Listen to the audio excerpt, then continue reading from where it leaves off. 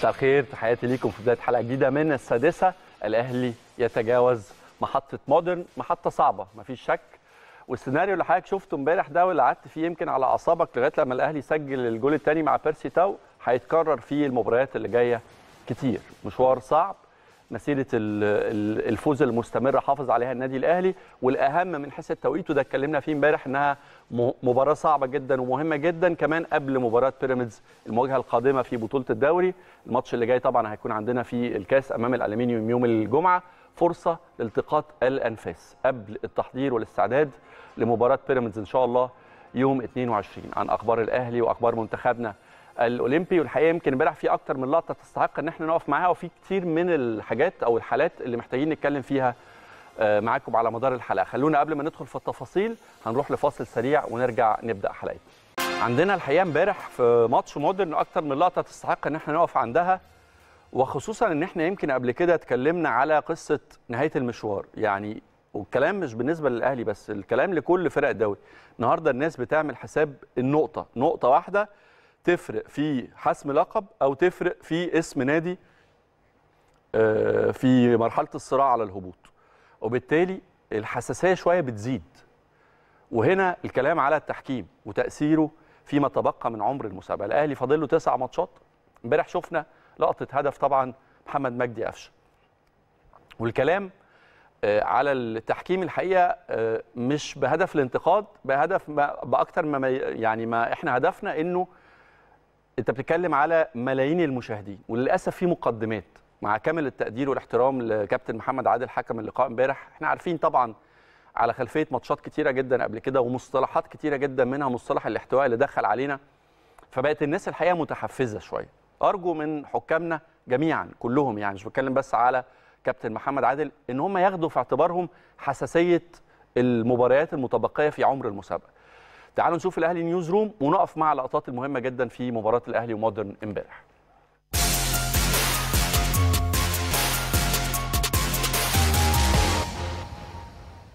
طيب ضربة الجزاء أو الفاول ضربة الجزاء للنادي الأهلي أو الفاول اللي يستحقه عمرو السيسي نتيجة اشتراك وسام أبو علي معاه. اللقطة اللي كانت مقدمة هدف محمد مجدي قفشة.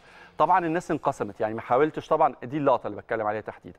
أنا الحقيقة يعني مش قصتي خالص ومش هتكلم في إنها ضربة جزاء صحيحة للاهلي ولا فاول مستحق لمودرن أنا هتكلم على صفاره كابتن محمد عادل. خد بالك ما بين الكرة دي ما بين اللقطة دي ووصول الكرة أو تصليح الكرة ووصولها لمحمد مجدي قفشة لو ممكن نلعبها بس بالبطيء سلو موشن بالظبط من هنا. كل ده حصل يعني ال ال ال ال الاشتراك أو الالتحام اللي حصل وهو مش واضح مين اللي اعتدى على مين. هل هل وسام أبو علي هو اللي احتك بعمرو السيسي ولا عمرو السيسي اللي رمى تقله على رجل وسام أبو علي اليمين؟ فبالتالي ليها وعليها يعني نختلف عليها تحكيميا. وأغلب الاستوديوهات التحليلية وأغلب الخبراء التحكيم اختلفوا عليها والجمهور كمان انقسم عليها. في ناس قالت لك دي يعني ممكن تتحسب بينالتي لصالح وسام أبو علي وناس قالت لك لا دي فاول صريح على وسام وبالتالي فاول لمودرن سبورت. لكن أنا اللي يهمني بقى واللي يخصني في الموضوع هو اللي أنا جاي أتكلم مع حضرتك فيه. من لحظة لمس الكرة نتيجة الاشتراك والتدافع اللي أنا مش عارف بصراحة مين اللي صلحها. هل في حد لمسها أساسا؟ يعني هل وسام لمس الكوره عمرو السيسي واضح تماما إنه ما لمسش الكوره تمام؟ فبالتالي من اللحظة دي الكرة اتصلحت الكرة اتصلحت لمحمد مجدي قفشة. ومحمد مجدي قفشة شاط الكورة. والكره راحت قطعت طريقها من رجل محمد مجدي قفشة لغاية الشبكة. كل ده حصل وكابتن محمد عادل ما خدش قرار والصفاره بتاعته ما طلعتش. ليه؟ هو السؤال هنا ليه؟ أنا شايف إن وسام هو اللي لمس الكورة بصراحة. يعني أنا شايف الكورة دي وسام هو اللي وصل للكوره الأول. فهي لو ما اتحسبتش ضربة جزاء فهي تتحسب هدف لمحمد مجدي قفشة. واللي يزود علامات الاستفهام هنا هو تأخير صفارة كابتن محمد عادل. نبص هنا على سيبك من الكورة وسيبك من وسام وعمرو السيسي. بص على كابتن محمد عادل. رفع ايده بالصفارة وراح مكمل اللعبه لغاية هنا بالنسبة له مفيش خطأ. الكره وصلت لقفشة وقفشة شاط والكره راحت للشبكة.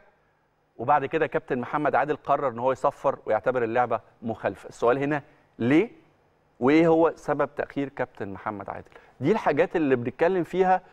أنا هنا لا اتكلمت إنها ضربة جزاء مستحقة ولا اتكلمت ان هو هدف صحيح ولا اتكلمت إنه فاول لمودرن مش قصتي في النهاية. أنا مش خبير تحكيمي. وفي النهاية القرار اتخذ والمباراة انتهت ولكن لو انتهت المباراة دي لو انتهت المباراة دي بنتيجة تانية غير فوز النادي الأهلي أنا بقول لحضرتك الاتهامات اللي كانت هتبقى على التحكيم في مصر وعلى كابتن محمد عادل لا نهاية لها. ليه برضو بقول الكلام ده؟ لأنه في مواسم كتير جدا كان للتحكيم قرارات ضد النادي الأهلي ومع منافسي النادي الأهلي أو لصالح منافسي النادي الأهلي تسببت في التأثير على وجهة اللقب. فبالتالي نتمنى نتمنى الحرص كل الحرص لحكامنا ولهم منا كل التقدير والاحترام. وأنا أكتر واحد حريص إنه التح... بس أنا حرصي لوحده مش كفاية. يعني حرصي لوحده على مكانة وعلى هيبة التحكيم المصري وعلى نجاح منظومة التحكيم المصري مش كفاية. في صراعات كتير آه في عدم قبول لفكرة ال- المشرفين الأجانب أو رؤساء لجان التحكيم الأجانب برضو وارد. وعندنا من الكواليس كتير بس ما بنطلعش نتكلم فيه. في صراعات داخل أو بين الحكام المصريين سابقين أو حاليين آه في. كل ده أثر على منظومة التحكيم في مصر؟ آه أثر. لكن اللي نتمناه نتمناه يعني إنه التحكيم المصري ترجع الثقة مبدئيا فيه مرة تانية عند جماهير الكرة المصرية مش بس عند جماهير النادي الأهلي. طبعا هدف إمام بصناعة قفشة وهدف تاو بصناعة آه رضا كانوا كافلين بحسم الثلاث نقاط وإن كان لينا أكتر من وقفة فنية مع مباراة امبارح. لأن أنا قلت لكم أنا بعتبر كل الماتشات اللي باقية للنادي الأهلي ماتشات صعبة. تسع مباريات محتاج منهم 24 بونت. بعد مباراة بيراميدز نبقى نحسب الحسابات. الثلاث نقاط بتوع بيراميدز هم أهم ثلاث نقاط من أصل 24 محتاجهم الأهلي فيما تبقى من عمر المسابقة عشان يتوج باللقب. ماتش بيراميدز يفرق معانا كتير جدا جدا وهي, المحطة الأهم في كل المحطات المتبقية. تجربة أو مباراة الالومنيوم مش في الحسابات لأنه أعتقد إنه يعني مش عايز أقول في مباراة سهلة ومباراة صعبة لكن أعتقد إنها فرصة واحد لمارسيل كولر إن هو يفكر أو يحضر لما تبقى من آه، عمر الدوري أو ماتشات الأهلي في عمر مشواره في في بطولة الدوري. حاجة كده زي ماتش الزمالك لما انسحب. يعني آه، لما الزمالك انسحب ادانا آه، جرعة أكسجين ادت لاعبتنا فرصة إن هم يريحوا يلتقطوا أنفاسهم يشحنوا بطارياتهم مرة تانية. فرجع الأهلي يقدم أحلى ماتشاته في ال- الدوري في الفترة الأخيرة. فنتمنى إن شاء الله بإذن الله بداية طبعا التوفيق في ماتش الالومنيوم لكن العين الجماهير كلها عينها على مباراة بيراميدز الأهم طبعا في آه، مشوار بطولة الدوري. طيب من أخبارنا هنروح طبعا الأهلي عنده تمرينة ما فيش راحة. يبقى عندك تمرين النهارده تمرين بكرة الماتش يوم الجمعة. هنروح إن شاء الله بإذن الله ملعب مختار التتش ونشوف ونتابع مع حضراتكم تمرينة الأهلي. أعتقد إنه الجديد في الموضوع إنه آه، آه، عمر كمال عبد الواحد أعتقد هيخش في القائمه بشكل كبير. بيرسي تاو رجع رضا سليم رجع الاثنين قدموا حتى لو ما قدموش ال يعني ال ال ال الإضافة الكبيرة لكن هم يكفي إن هم كانوا صح أصحاب بصمة هدف الفوز اللي اتحقق على مودرن. فريق عنيد وبالمناسبة مودرن لسه ليه معانا جولة تانية وطلعت يوسف الحقيقة عامل فريق محترم جدا ومنظم جدا وعنده عناصر آه، على أعلى مستوى. فرقة كورة محترمة جدا جدا جدا. ويمكن كانت لو دخلت في ال في ال في ال يعني في البطولة بدري شوية كانت تبقى بتنافس لغاية النهارده لأنه السكواد اللي عند مودرن فريق محترم وعنده كمان على مستوى المحترفين اتنين آه، يعني لعيبة محترمة جدا. طيب زي النهارده افكركم بس برضو بالذكريات السعيدة للنادي الأهلي واحدة من الذكريات اللي أنا تشرفت بالحضور. حقيقة يمكن يعني طول وقت آه، آه، شغلي في قناة الأهلي كنت شاهد على مرحلة من أهم مراحل النادي الأهلي على مدار تاريخه. لحظات شفنا فيها إنجازات تاريخية الحقيقة. بتتحقق لأول مرة على إيد الجيل ده. حقيقة جيل جيل تاريخي الحقيقة. آه، زي النهارده آه، كان 17 يوليو كان آه، تتويج النادي الأهلي باللقب العاشر في بطولة أفريقيا. ثلاثية لا تنسى الحقيقة في مرمى كايزر تشيفز في كازابلانكا. ويبدو إنه كازابلانكا وشها حلو علينا يعني لأنه بطولتين من من من الأربعة اللي خدهم الأهلي في السنوات الأخيرة كانوا في كازابلانكا. طبعا 3-0 آه، محمد شريف محمد مجدي قفشة عمرو السولية ثلاث أهداف لا ينسوا يمكن يكون أسهل نهائي ويمكن يكون أكتر نهائي ما خدش حقه. يعني النهائي على على حساب الزمالك طبعا ده ده في حتة ثانية يعني لا مقارنة ولا مجال إن هو يتقارن حتى مع الصفاقسي يعني لو سألت جماهير النادي الأهلي أغلى نهائي دوري أبطال أو أغلى لقب دوري أبطال هيتقال لك القضية طبعا على حساب نادي الزمالك. النجمة التاسعة اللي حققها النادي الأهلي. بشوف الصفاقسي التونسي النهائي اللي في رادس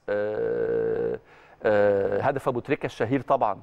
يمكن يكون بعده من حيث الغلاوة الأهمية الصعوبة السيناريو الدراما.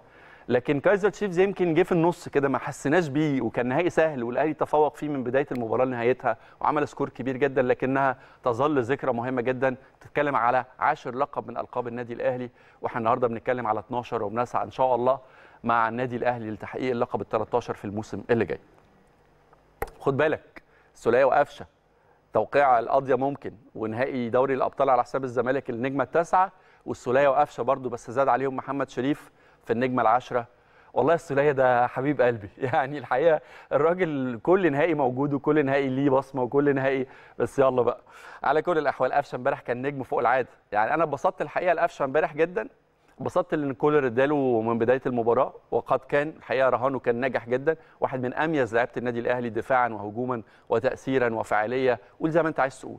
قفشة في حتة ثانية وواحد من اللعيبة اللي اتظلموا مع المنتخب كتير قوي الحقيقة. يعني بشوف أكتر اثنين اتظلموا مع المنتخب هم محمد مجدي قفشة وحسين الشحات بصراحة. يستحقوا الحقيقة. مشوارهم مع النادي الأهلي وتأثيرهم مش بس المشوار مش فكرة إنه لابس التيشيرت وبيشارك في تحقيق ألقاب ولا بيشارك في بطولات كأس عالم ولا بيشارك في في إحراز أهداف لأ لعيبة مؤثرة لعيبة في في الماتشات الثقيله ليها ليها تواجد لعيبة تقيلة تراهن عليها إنها تحدث الفارق في أي لحظة من لحظات المباراة. ففكرة أنا أساسا بالنسبة لي ما بحطش لعيبه الاهلي في مقارنة مع أي حد مع كامل احترامي. في لعيبة كتيرة حلوة وكويسة جدا ونجوم كبار كمان في الدوري المصري في أندية كتير. لكن صعب قوي تحط أي حد منهم في مقارنة مع النادي الأهلي. يعني كلمني على الأرقام والإحصائيات والتتويجات والتأثير والفعالية والصناعة وعدد المشاركة في المباريات والأهداف اللي حققوها وقدام مين؟ لا الأهلي لعيبة الأهلي كلها في حتة ثانية خالص. النهارده التجربة الثانية لمنتخبنا الأولمبي إن شاء الله في فرنسا. التجربة الأولى كانت قدام أوكرانيا من ثلاث أيام تقريبا. انتهت المباراة بالتعادل واحد واحد. والنهاردة في تجربة ثانية وأخيرة أمام العراق إن شاء الله قبل بداية المشوار الرسمي الحقيقة. وأنا عندي كلام كتير على يعني على المنتخب الأولمبي النهارده. إحنا بنتكلم إيه؟ أسبوع بالتحديد زي النهارده زي النهارده. 24 7 بداية مشوار منتخبنا الأولمبي في الأولمبياد. ورهنا على الجيل ده تحديدا من اللاعبين سواء إن شاء الله ربنا يكرمهم. يعني أنا شايف إنه إنه ودي حصلت قبل كده في أكتر من جيل. الفرصة كبيرة جدا قدام اللعيبة دي إنها إن شاء الله لو قدمت عروض كويسة في الأولمبياد. وده واحد لازم من الدوافع اللي اشتغل عليه الجهاز الفني لمنتخب مصر إنه يجي لهم فرص للاحتراف الخارجي.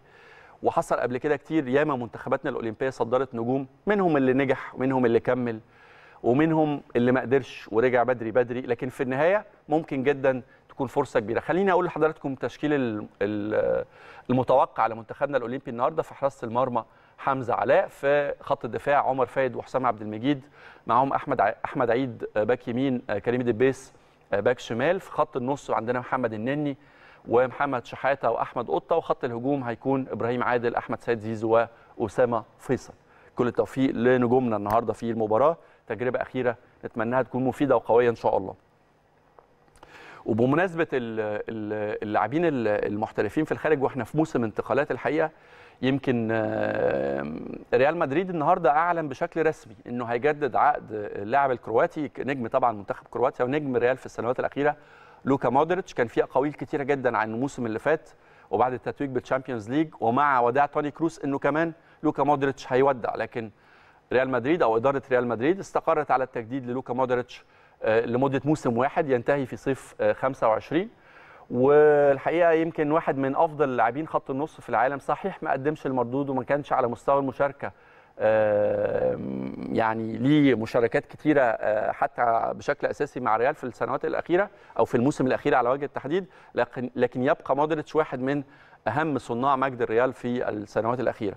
ومش عيب ابدا على فكرة يعني يمكن ده يحصل عندنا كمان لكن آه، فكرة اوضه اللبس فكرة آه، نقل الخبرات فكرة تكريم الرموز دي حاجة مش ما بتبقاش ابدا جديدة على أندية كبيرة وخصوصا لما نكون بنتكلم على ريال مدريد أفضل أعتقد إنه أفضل نادي على مستوى العالم. ده دي حقيقة لا تقبل النقاش. آه، عايز أقول لحضراتكم إنه في سوق الانتقالات ده في كتير من الأقاويل بتتقال. طبعا فيكتور أوسيمين مهاجم منتخب نيجيريا ونابولي مرشح أو اقترب بالفعل وبقوة من إن هو ي- يروح لفريق بي إس جي اللي مقدم عرض كبير جدا لنابولي في المقابل. لوكاكو محتمل إنه يكون بديل أوسيمين في نابولي ويقترب جدا بارتداء آه، تيشيرت نابولي. عندنا كلام على الميركاتو الحقيقة لأنه كمان اليومين دول في صفقات كتيرة جدا وخصوصا المان يونايتد اللي فتح خزاينه أمام أسماء يمكن مش من العيار التقيل أسماء يمكن تكون بتسمعها لأول مرة لكن في النهاية أسماء مميزة جدا من الممكن إنها تحدث الفارق مع تنهاج في الموسم القادم. كنت من أسبوع أو يمكن في بداية الأسبوع ده الحلقة السادسة في بداية الأسبوع ده اتكلمت مع حضراتكم على الخبر اللي هز الأوساط فكرة رحيل جوارديولا عن تدريب المان سيتي. وقلت لكم إنه الموسم ده هيكون الأخير لجوارديولا مع مانشستر سيتي بعد فترة يمكن تكون الأنجح على مستوى مشوار بيب جوارديولا سواء مع آه، برش- برشلونة طبعا أو بداياته طبعا اللي حقق فيها ثلاثة Champions League أو مع البايرن.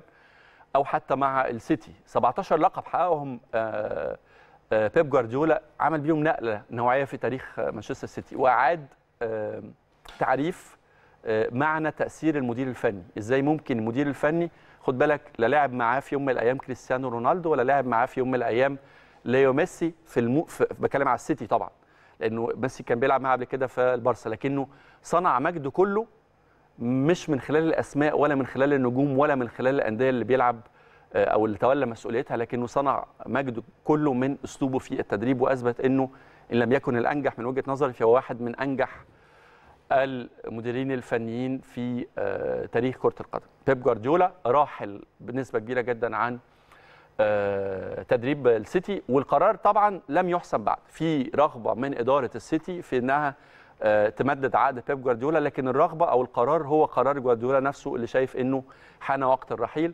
قرار النهائي مفترض إنه يتخذ في منتصف الموسم ما بين شهر ديسمبر وشهر فبراير.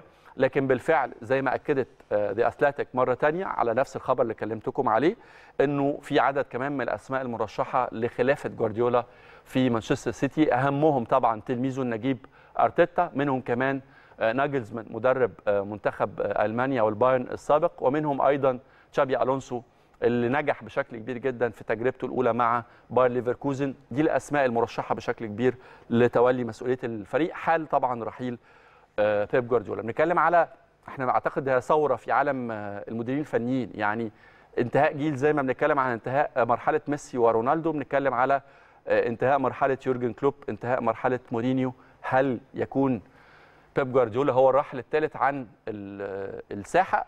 ده جواب ممكن آه، يظهر في خلال الشهور القادمة. يمكن الحقيقة زي ما قلت لكم عندنا كلام على الميركاتو مش بس الميركاتو المحلي إحنا في موسم انتقالات فطبيعي جدا يكون في أسماء كتير انت بتقرأ عنها أو بتسمع إنها مرشحة لانتقال النادي الأهلي سواء أسماء من الأندية المحلية أو أسماء كمان المحترفين. أجانب لكن أنا مش هتكلم على أسماء أنا هتكلم على مراكز وخصوصا إنه إذا كان في صفقات فبالتأكيد هي- هيتم حسمها بشكل كبير جدا قبل نهاية شهر 8 بعد الفاصل هستقبل ضيوفي في السادسة بلال محسن أحمد مصطفى المحللين الفنيين. هيكون ضيوفي معايا ومع حضراتكم. هنفتح معاهم موضوعات كتيرة جدا سواء ليها علاقة بالنادي الأهلي أو المنتخب الأولمبي أو الميركاتو أو وكلاء اللاعبين. كلها ملفات هتكون معانا في السادسة بعد الفاصل.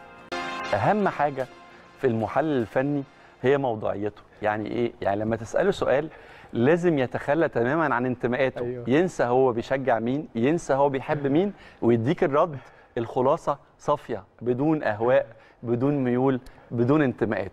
كده تثق أنت في مصداقيته وموضوعيته وأنت بتديله أي سؤال على الهواء ويكفي إن أنا أقول لك إن إحنا لحظات ما قبل بداية الحلقة ولحظات ما قبل الرجوع على الهواء خناقة حامية الوطيس. خليني أرحب بضيوف السادسة بلال محسن وأحمد مصطفى اللي بستمتع بيهم وبيشرفوني في السادسة النهارده. مساء الخير بلال مساء الخير يا أحمد. أهلا بيك طبعا واهلا بكل السادة المشاهدين. ويمكن عشان جيت متأخر شوية فأنتوا إيه اتفقتوا عليا وأنا مش موجود بس أنا عندي رأي برضه. وبعدين اديتك الخلاصة قبل اليورو فعايز خلاصة إيه بعد كده؟ صحيح. مساء الخير يا أبو حميد. مساء النور يا أحمد واهلا بيك واهلا بكل مشاهدي قناة الأهلي طبعا بس هو إحنا يعني ايا كان إحنا كنا قبل. لا إحنا حريفه زي بعض. ومتفقين من زمان مش من النهارده بس. صحيح. أهلا وسهلا بيكم. خليني أبدأ معاكم. عندنا حاجات كتير الحقيقة. يمكن النهارده منتخب مصر الأولمبي بيلعب تجربته الثانية والأخيرة قدام العراق. آه عايز أفتح معاكم ملف الأولمبياد.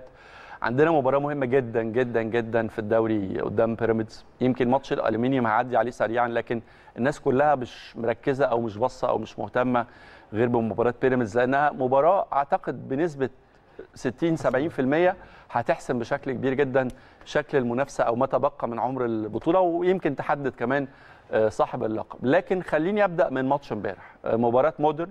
آه، السيناريو بتاع المباراة شفتوه إزاي؟ بداية يمكن مختلفة تماما عن بداية مباراة بيراميدز. الأهلي استقبل تشكيلة مارسيل كولر وبداياته اختياره محمد مجدي قفشة اللي كان من وجهة نظري يعني نجم المباراة امبارح. شفتوا المباراة إزاي وشفتوا مكاسب الأهلي ابدا بمصطفى من ماتش مودرن امبارح؟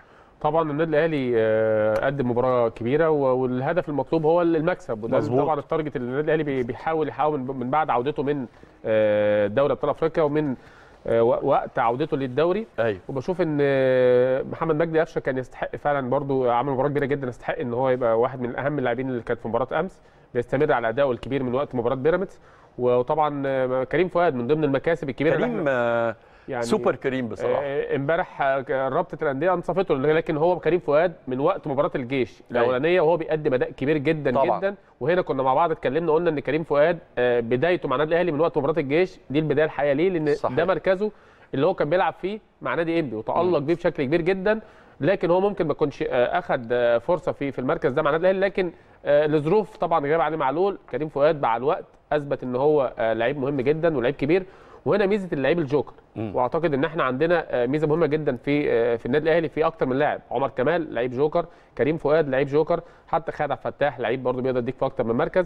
فالحاجات أكرم توفيق جوكر أكرم توفيق كمان لعيب جوكر. ففي لعيبة كتيرة جدا بتديك في أكتر بس من كريم مركز. الحقيقة ما شاء الله يعني أنا بس ساعات بخاف عليه شوية لأنه مندفع شوية. مندفع شوية. مندفع شوية وبيلعب بحماس كبير جدا جداً، جدا جداً. جدا, وكمان فكرة التحرر إن هو دائما نادرا لما تلاقي back left بيروح ب- بوشه لل- لل- لل- يقابل المدافع. دايما بيهاجم على المدافع وبيبقى عايز يعدي ودايما تلاقيه دايما بيعمل خطورة كبيرة جدا صحيح. وده شفناه في أكتر من من فرصة في في مباراة أمس مع مودرن سبورت وكمان شفناه في مباراة ال- الجيش ال- المباراتين بتوع الجيش السابقتين. أنا مش عايز أديله فرصة يتكلم بصراحة يعني عشان ما اتفقش معايا من قبل الحلقة. أنا رأيي نكمل الكلام. لا هو أنا بص أنا قلت لك و- أنت في الإنترو قلت حاجة مهمة جدا. قلت ريال مدريد هو أفضل نادي في العالم شئنا أم أبينا. فقلت لك طبعا طبعا بعدها طبعا. على طول المفروض ما كناش آه، لا يعني. لا لا, لا, أوي. لا بص أو ده جزء من الموضوعية. يعني بص شوف أنا ما بحبش الريال. يعني أنا ما بحبش ريال مدريد. آه، أنا بحب الكرة الممتعة. آه، أدور عليها وأشوفها بره أنا ما عنديش انتماء ثابت وواضح وصريح. أنا بشوف الفريق اللي بيقدم لي كرة ممتعة وأتفرج عليه. بصرف النظر جاب لقب ما جابش. جاب بطولة ما جابش. أنا عايز أتفرج على كرة حلوة. مش عايز وجع دماغ فالسيتي بالنسبة لي حاليا السيتي مرحلة. هتنتهي. فكرة الريال في استمراريته. زي الأهلي كده مف... مش. بيتقال على الأهلي مثلا في أفريقيا هو ريال مدريد أفريقيا. في ناس بتتضايق من الكلام ده. وفي ناس تقعد تقارن تقول لك. أنت بتقارن إزاي الأهلي بريال مدريد؟ ريال مدريد بيلعب مع فرق كبيرة في أوروبا وبيلعب مع ما هو برضه ده في فارق. إمكانيات. كل آه، يعني كل كل نادي في في, في الاثنين عنده عنده الظروف ال- الخاصة بيه. يعني أنت عارف إن هنا في أفريقيا موضوع السفر وال- واللعب على أرضيات آه، صعبة شوية وتنقلات كتير وإرهاق. وإمكانيات كل حاجة. آه، لكن النادي الأهلي رغم كل الظروف دي قدر آه، يعني يضع نفسه على القمة منفردا. كذلك الحال في أوروبا طبعا ريال مدريد بيواجه عمالقة الأندية الأوروبية ومع ذلك ورغم الظروف الصعبة والمنافسات القوية ولكن أيوة. ريال مدريد قدر فإحنا دايما نقول إن النادي الأهلي والنادي ريال مدريد يكفي إن التنافس بين الاثنين على لقب ال- النادي الأكثر تتويجا بالبطولات القارية شرف كبير جدا لكل من ينتمي لتشجيع آه، سواء النادي الأهلي أو صحيح والشيء بالشيء يذكر يعني أنا مش هطلع بره الحدود القارة يعني مش هقول لك مثلا إن الأهلي في. في, في, في, في, في آخر أربع خمس سنين دول قابل مدارس كروية مختلفة مرة مكسيك على مرة برازيل على بايرن. مرة آه، أمريكا على مرة ألمانيا بايرن. آه آه، آه، أنا بتكلم على الماتشات اللي الأهلي كسب فيها. آه okay. أنت كسبت تقريبا كل يعني كل أبطال القارات مرة اليابان آه، أوراوا ريدز مرة آه، حتى اليومين اللي خسرناه في لكن- كأس العالم لكن الأخيرة كنا صحيح، إحنا الأفضل كنا- وكنا نستحق صحيح الفوز. صحيح. لكن أنا هسألك إنه على مستوى أفريقيا النهارده أفضل 10 أندية شايفهم على مستوى قارة أفريقيا هم مين بالترتيب؟ اسمع وجهة نظركم أنتوا الاثنين يعني أنا بالنسبة أو أنت طبعاً- مثلا اختار خمسة أو واحد طيب. واحد يعني نمشي واحد واحد. ماشي خلاص. النادي يعني بعد النادي الأهلي يعني. لا سيبك طلع طلع الأهلي بره المعادلة دلوقتي. طيب. بقول لك أنا- ما هو دول المنافسين بتوع النادي الأهلي. تمام. تعال نشوفهم ونقيمهم. آه. أنا أنا بالنسبة لي صن داونز طبعا يأتي في المركز. الثاني بعد النادي الأهلي. تمام. عنده كل مقومات ال- البطولة. آه، آه، يعني نادي عنده سيستم لعب وطريقة لعب دايما محافظ عليها مع تغير حتى المديرين الفنيين. آه، عنده كمان scout scouting عالي قوي ال scout أو طاقم طاقم ال scout عنده قادر إنه يعمل انتدابات كبيرة. آه، ممكن ما- تبقاش بأرقام كبيرة على قد ما هي آه، مهمة جدا كتدعيم آه، للفريق. يعني بتقدر تشوف حتى بعد كده مردودهم وأدائهم كبير جدا بيفاجئوك بلاعبين حتى لاتينيين أو كده. فأنا شايف عنده جمهور سان عنده سان سان. داونز الوداد. المغربي. الوداد المغربي. عنده شخصية البطل طبعا وحتى لو بيمر ببعض الأزمات لكن تظل شخصية البطل موجودة عند فريق الوداد المغربي. عندهم إمكانيات وعندهم الجمهور ال- آه، الكبير اللي يقدر برضه يخليهم دايما حتى في في ظل هم في اسوء حالاتهم يقدروا يعودوا في أي وقت ويبقى دايما بيشكلوا خطورة في قاره أفريقيا. ثالث فريق. الزمالك. الزمالك المصري. الزمالك المصري. اخترته على أي أساس؟ واحد من الأندية اللي كان عندها في وقت من الأوقات ريادة في في أفريقيا وعنده آه، خمس بطولات أفريقية. مم. آه، عنده كمان ش- شعبية كبيرة وعنده آه، إمكانيات يقدر في وقت من الأوقات يعني هو وصل اتنين final في السنوات ال- الأخيرة أمام النادي الأهلي وكان. عنده آه آه توج بلقبين على مستوى الكونفدرالية. فأعتقد إن نادي الزمالك اسم يبقى اسم مهم ثالث طبعا. ثالث نادي. ده رابع نادي؟ يانج افريكانز يانج افريكانز سبق الرجا والترجي؟ سبقهم شوية جدا وبشوف إن الكرة بتاعتهم بقت كرة مختلفة الكره اللي هي نفس نفس مدرسة سان داونز لكن مع فرق الخبرات. لكن بشوف إن يانج افريكانز في ال- ال- البطولة القادمة والفترة القادمة بشوف إن هو فريق هيبقى مزعج جدا للفرق الكبيرة. وبشوف إن هم ماشيين على سياسة أعتقد هتخليهم آه، في النطاق الصحيح الفترة القادمة. خامس. آه، تيبي مازيمبي. تي بي مازيمبي. نفس فكرة اختيار الزمالك. آه نادي عنده رصيد بطولات.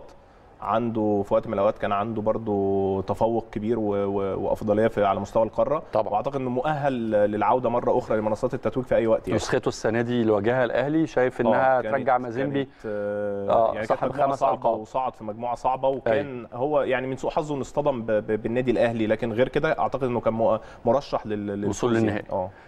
السادس؟ الترجي التونسي. الترجي التونسي. الترجي طبعا فريق كبير ويظل إن هو فريق كبير طبعا وفريق آه، ليه تاريخ كبير جدا في قاره أفريقيا وليه جمهور وشعبيه كبيرة جدا. السابع. النادي ال- السابع آه، ممكن الرجاء المغربي. الرجاء المغربي. آه واحد من الأندية برضو اللي كان عندها آه، يعني آه، مردود كبير وعندهم رصيد بطولات.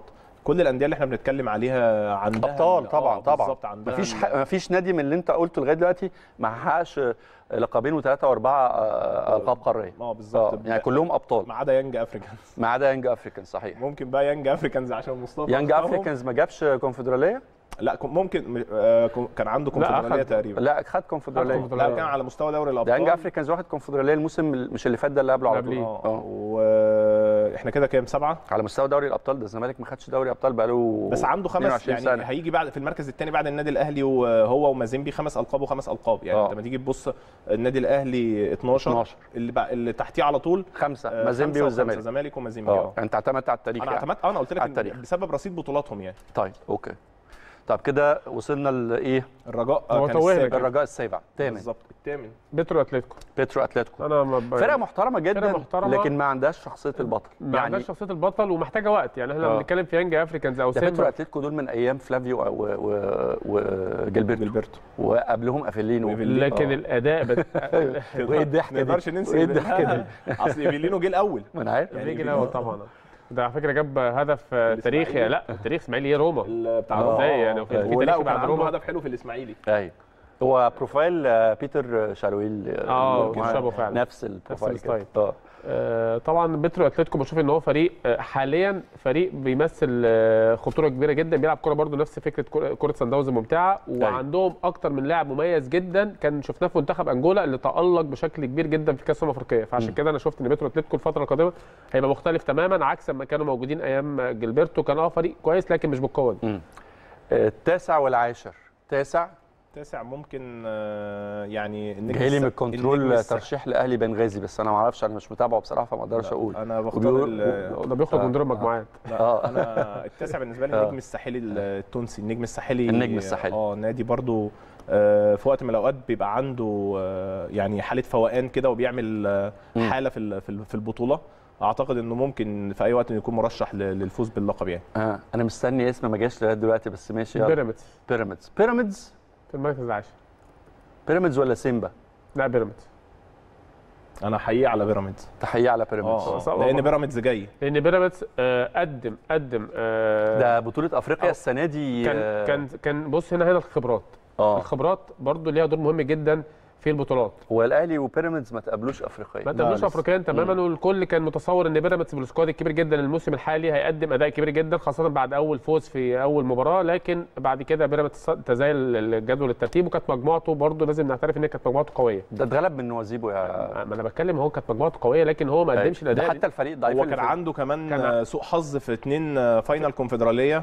خسر ال نهضة ال- بركان، آه، أعتقد. نهضة بركان و- نهضة و- بركان و- ولا كان خسر واحد بس وكان الثاني كان semi final كان semi final. semi لا، لا، final آه كان عنده. final و semi final في سنتين ورا بعض كان ممكن يبقى عنده لقبين هو يعني طيب. ممكن يكون. يعني هو باستثناء هو بيراميدز هو بص هو بيراميدز يا أحمد آه، آه. عنده اللي اللي, عنده اللي ممكن ما. يبقاش آه اللي ممكن ما يبقاش موجود عند أندية ثانية الكلام ده أنا بسمعه كل سنة عشان كده أنا اخترته العاشر يعني, يعني أنا- الكلام ده أنا أنا بسمعه كل سنة. على أنا مش ضد إن يبقى في نادي مصري موجود على الساحة في أفريقيا بالعكس ده شيء يفرحني يعني لو الأهلي والزمالك والإسماعيلي مثلا آه، مسيطرين على بطولات افريقيا. ده شيء يفرحني كمصري آه، بصرف النظر أنا بشجع النادي الأهلي. أيوه أيوه. لكن هي الفكرة إنك اخترته مش لاقي criteria. مرشح يعني أنا أعتقد لا أنا اخترته. طبعا مرشح لا وفي آه. العاشر. يعني في لو جيت بصيت بالنسبة ل- ماشي. بعد أندية كبيرة جدا. آه. يعني أنت طلعت استثنيت اتحاد العاصمة طبعا. آه، استثنيت سيمبا الثاني استثنيت نهضة بركان. يعني كل الاتحاد- دي بشوف كل دي أندية عاملة ريكوردز في جميل جدا. يعني نهضة بركان لوحده مثلا ثلاث أربع بطولات آه، إشبيلية بتاع آه، أفريقيا. أشبيلية. بتاع أفريقيا صحيح. معاك لكن بشوف إن يعني الفرقة دي لو واجهت بيراميدز بيراميدز ممكن يتفوق عليها. هو السؤال هنا عشان أوصل للنقطة ألف اللي إحنا كنا بنتكلم فيها. تعالى وشوف إذا كان دول وأعتقد إنه أغلب الناس هتتفق على 80% من القائمه دي. ممكن يبقى في اختلافات في حدود اسم اسمين.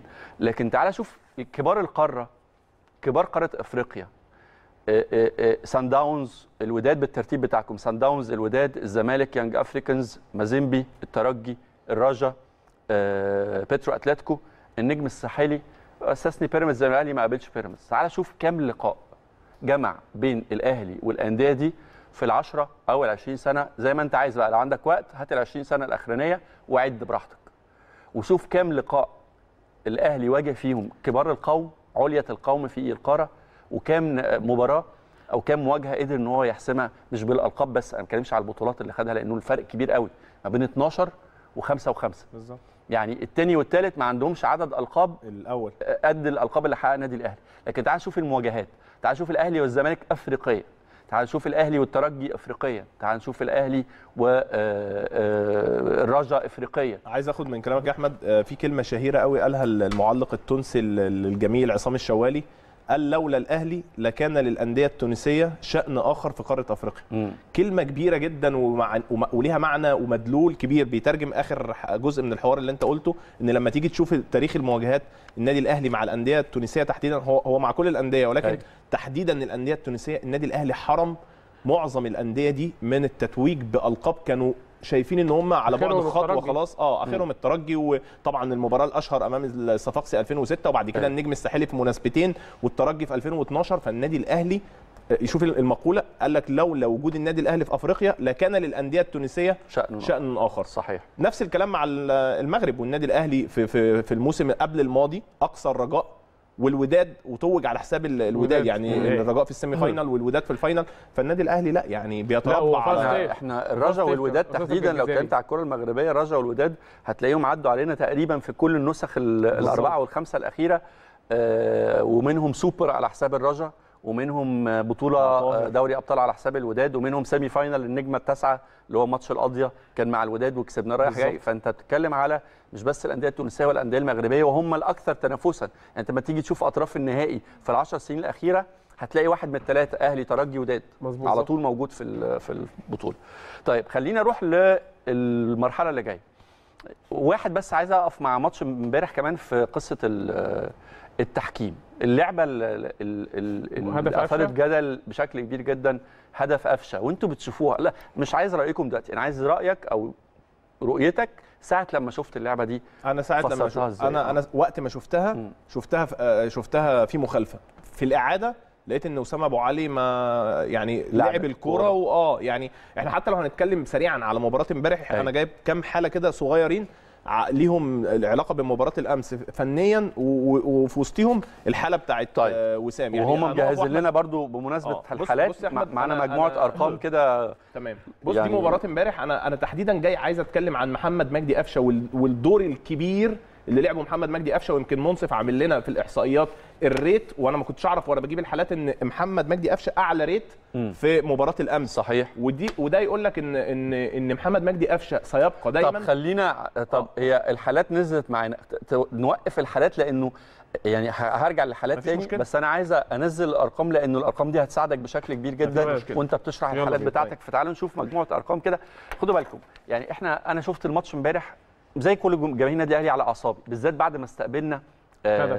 الهدف الأول من من مودرن بالمناسبة الم- المهاجم الكاميروني بتاع مودرن إحنا اتكلمنا عنه في؟ الحلقة اتكلمنا عنه في آه، وقلنا آه، مميز آه مميز جدا بيلعب. احمد عاطف كمان صحيح طيب دي الأرقام اللي معانا اتفضل يا بلال طبعا أو اتفضل يا محمد مصطفى. محمد مجدي قفشة آه، أعلى ريت ب 8.1 وده ده يأكد إن ده على مستوى ال- الأسماء اللي قدام حضراتكم دي على مستوى الفرقتين مش بتكلم على. مستوى الفريق الأهلي بس لعب 74 دقيقة و- و- وصنع آه، أربع فرص مم. و- وده يبين إن قفشه كان ليه دور مهم جدا في مباراة أمس برغم إن هو خرج في الدقيقة 74 وقدم آه، آه، مباراة كبيرة جدا وعدد تمريراته ونسبة الدقة هو أكثر اللاعبين على مستوى دقة التمرير في مباراة امبارح عبد الكبير الوادي آه، 7.8 مم. آه، لعب 90 دقيقة. أكرم. آه، صنع فرصة واحدة. مم. أكرم توفيق وده حاجة من ضمن الحاجات المهمة جدا. أنا هكتفي آه نكتفي بالخمسة بس الأوائل. آه يبقى. قفشه عبد الكبير الوادي أكرم, أكرم توفيق كريم, فؤاد. وهنا طبعا كريم عاشور. وإمام معلش عاشور أنا أنا بس عايز أقول حاجة في أكرم وكريم إن أكرم وكريم في الثالث والرابع يا أحمد نسبة دقة التمرير بتاعه الاثنين. آه عالية جدا يعني مم. يمكن آه 91% 91 و93. نسبة دقة آه آه، تمرير أكرم وكريم 93 مم. آه وده بي بي يعني بيديك آه دلالة إن الاثنين عندهم آه، معدل تمرير جيد جدا بيقدر أو بتقدر من خلاله الف- الفريق إنه يحافظ دايما على الكرة أيوه. آه، ويبقى عندك ال- الاستحواذ. وكريم كمان رغم إنه ما بيلعبش في مركزه أو بيلعب على يعني على غير عدلته أيوة. ولكن قادر يوصل ل 73 93% ده رقم كبير جدا بالنسبة لمعدل ال- التمرير صحيح يعني. صحيح. طيب نروح للأرقام اللي بعدها. دي بنتكلم على أعلى دقة في التمرير زي ما أنتوا كنتوا بتتكلموا عليها. أكرم توفيق. أعلى دقة تمرير آه، آه، 67 pass منهم 62 pass ناجح. طيب. طيب ده الجزئية الدفاعية أو النواحي الدفاعية. اتفضل يا مصطفى. التدخلات آه، رامي ربيعه عمل تسع تدخلات في ثلاثة منهم تدخلات صحيحة. و آه، بشوف إن هو كمان الالتحامات الأرضية الالتحامات الأرضية خم... ستة كسب منهم خمسة. 83% آه بنسبة نجاح 83% تاني لاعب أرنولد إيبا الهوائية. الالتحامات آه، الهوائية ستة كسب منهم أربعة. آه. آه، رقم اثنين اللي هو إيبا آه، مهاجم آه، مودرن سبورت. أرنولد إيبا. ده كاميروني. صح؟ كاميروني آه. آه بس ولد كورته حلوة بصراحة. كورته حلوة. الطرد و- امبارح. وطبعا إنذار تاني. طرد لا طرد انت مباشر. بتتكلم على طرد آه مباشر. طرد آه. مباشر. والعلم هو بقاله أربع مباريات وإحنا لما اتكلمنا قلنا إن هو آه، كان أحمد عاطف من أول الموسم هو المهاجم الأساسي لكن مع كابتن طلعت يوسف المه... اخذ فرصته كاملة و... و... وأرقامه كويسة جدا في خمس م- ده للمباراة الرابعة على التوالي بيحرز هدف. يعني مم. كل الأربع مباريات الاخرين بيحرز فيهم كل مباراة هدف. أيوه. آه، الالتحامات الهوائية آه، أربعة من أربعة من 11 36% آه، أحمد عاطف ثمان ثمان التدخلات الأرض- الأرضية ثمانيه منهم 12 طيب خلينا نروح للقائمة اللي بعدها يعني واضح هنا إنه ربيعة من الناحيه الدفاعيه يمكن أكتر اللاعبين فعالية بشكل كبير آه أرض- آه. الالتحامات الأرضية أو الهوائية صحيح في الالتحام في الاثنين وبالمناسبه عايزين نقول رامي ربيعة طبعا ان هو آه، النهارده بيصل للمباراة رقم 300 ليه في مسيرته مع النادي الأهلي مم. كابتن تاريخي تاريخي طبعاً. آه، آه، مهم آه. وعنده ستة ستة دوري أبطال. ألقاب دوري أبطال ده هو لوحده آه، معدي الزمالك ومازيمبي. آه فيعني. آه، رامي من اللاعبين المؤثرين ولو جاب السبعة ال- السنة الجاية إن شاء الله يبقى إحنا نسي- نسينا نقوله في الأندية اللي اللي اخترناها طيب.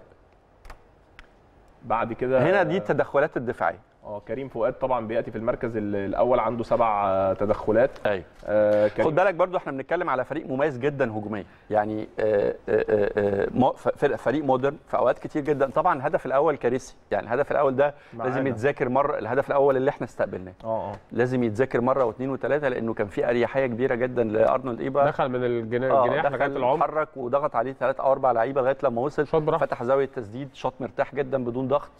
والكرة ما كانتش يعني قوية. قوية, قوية قوي ورغم كده كان هدف نتمنى إنه ما يتكررش مرة ثانية ممكن بقى في أي ماتش من آه يعني لما بعدها. نروح للحالات معانا هدف مودرن برضو في في الحالات آه، بتاعت مباراة الأمس بص يا أحمد آه، عشان نرجع ندخل سريعا في أجواء اللقاء ده محمد مجدي قفشة ودي في الدقيقة خمسة من بداية ال- اللقاء بص تمركز لاعبي مودرن يا أحمد على ال- أحمد مصطفى على الدايرة واحد اثنين ثلاثة أربعة خمس ست لاعبين واقفين على الدايرة بالشكل اللي أنت شايفه ده عاملين زي نص دايرة أيوة. علشان يحرموا النادي الأهلي من امتلاك الكورة في منطقة عمق الملعب أو يعني منطقة صناعة اللعب تحديدا. فأنت هتشوف إن اللاعب اللي ناحيتنا أهو إمام عاشور واقف هنا محاط بين اثنين لعيبة علشان لو استلم. فاضطر محمد مجدي قفشة ينزل في الحتة دي علشان يبقى عنده عملية الرؤية. وامداد اللاعبين سواء الطرفين أو ال- المهاجم وسام ابو علي بالكرات الطوليه. الحاله اللي بعد كده دي حاله أنا بقول لك بينت شكل آه، طريق أو طريقه لعب النادي الاهلي من بدايه اللقاء. الحاله دي ال- الدايره اللي على الشمال اللي فيها كريم فؤاد ده كان بيحاول يعمل انطلاقه اتقطعت منه الكره بص يا احمد اللي في الدايره اللي تحت هنا مين اللي في الدايره ده؟ محمد مجدي قفشه. اللي قفشه في وقت من الاوقات إحنا اتكلمنا عن إن إن هو ما بيقدرش يقوم بأدوار الارتكاز المساند وده يمكن كان فسر شوية بقائه على دكة البدلاء في وقت من الأوقات. لا قفشة امبارح عمل الأدوار زي ما كان عنده تفوق كبير في الأدوار الهجومية أيضا كان عنده تفوق كبير في الأدوار الدفاعية وراجع بيغطي المساحة اللي في ظهر كريم فؤاد. الحالة اللي بعد دي على طول برضو هتجد بص محمد مجدي قفشة هو كان محور أداء لعب النادي الأهلي طول المباراة. يعني دايما هتلاقي الكورة وتوزيع الكرات وإمداد اللاعبين بالكرات مع محمد مجدي قفشه يعني بص دي حالة اللعيبة كلها متوزعة ومحمد مجدي قفشه هنا في الكرة دي بالمناسبة عمل 1 2 أو دبل باص وفي ال- و- وعمل التمريرة لخالد عبد الفتاح. ف- حد حد اتكلم مع قفشه بعد الماتش امبارح؟ هو كان معايا بعد الماتش. كان مع آه، آه، آه، حد اتكلمت معاه في موضوع. الإصابة؟ الإصابة لا بسيطة. آه. كلام عادي جدا وقال لي بسيطة جدا وإن شاء الله هيتواجد في ماتش بيراميدز. ان شاء الله وينزل تمرين. يعني إن عادي. شاء الله. ان شاء الله. فدي ده ده دي بس حالات يعني أو ثلاث حالات. عايز أقول بمناسبة طبعا الحالات اللي جايبها بلال آه، هو فعلا آه، بلال بيجيب حالات بي- بيأكد دور قفشه مهم جدا وده بيأكد طريقة اللعب اللي اللي مارسيل كولر كان عارف ومذاكر فريق مودرن فيوتشر وعشان كده قفشه امبارح كان بيلعب في رقم ستة. ممكن ناس كتيرة بلال جايبها بالحالات قفشه امبارح ما كانش بيلعب صانع ألعاب اللي كان بيلعب صانع ألعاب امبارح هو إمام عاشور.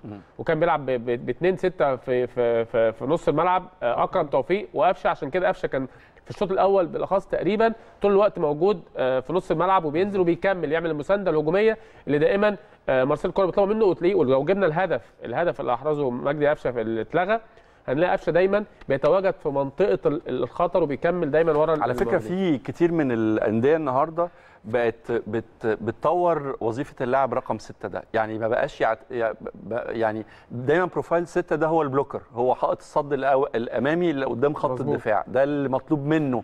أدوار دفاعية أكتر منها أدوار هجومية. النهارده بشوف آه، المركز ده في بعض الفرق بقت كأنها بالظبط بتعتمد على اتنين صناع لعب تجيب ال- ال- اللعيب اللي بيلعب مركز ستة ده عنده كورة عنده رودري. ال fitness عنده رودري طبعا رودري ده واحد طبعاً، من افضل طبعاً. بوسكيتس في وقت من الأوقات بوسكيتس في وقت من الأوقات آه، آه، فيراتي في وقت من الأوقات. آه، اللي عنده قدرة إن يبقى في صناعه مرحلة صناعة لعب مبكر مع صانع الألعاب اللي موجود ورا خط الهجوم والاثنين مع. بعض يقدروا يعملوا حلقات الوصل أو يربطوا بين. الثلاث خطوط بتوع هو الفريق هو مفهوم اللاعب رقم ستة يعني تعدى فكرة افتكاك الكره يعني مم. الافتكاك والتسليم والتسلم كان الأول دي المهام الأساسية للاعب أيوة. رقم ستة إن هو يفتك الكره يضغط يغلط ي- يعمل ال pass اللي اللي اقرب حد جنبه دي كان دي كان كانت مهام اللاعب رقم ستة الموضوع دلوقتي اختلف تماما زي ما انت بتتكلم في لعيبة زي ما أحمد مصطفى بيقول رودري زي وقت من الأوقات بوسكيتس أو توني كروس أو فيراتي أو ودلوقتي فيتينيا التنوع طبعا بشوف إن. فيتينيا فيتينيا طبعا في, باريس وفي. البرتغال فيتينيا فيتينيا بصراحة. بقول لك آه. إحنا رايحين إحنا رايحين عامة بالكورة من بداية من زي ما اتكلمنا قبل كده بداية من مركز حراسة المرمى اللي هيبقى أعتقد هيشهد تطور كبير جدا في عملية بناء اللعب بداية من الموسم. القادم وده على فكرة لا وليه بولونيا تياجو موتا. بالظبط لا لا. بداية بقى من الموسم القادم أنا بتوقع إن ده هيبقى حالة عامة في معظم الفرق وده اللي أنا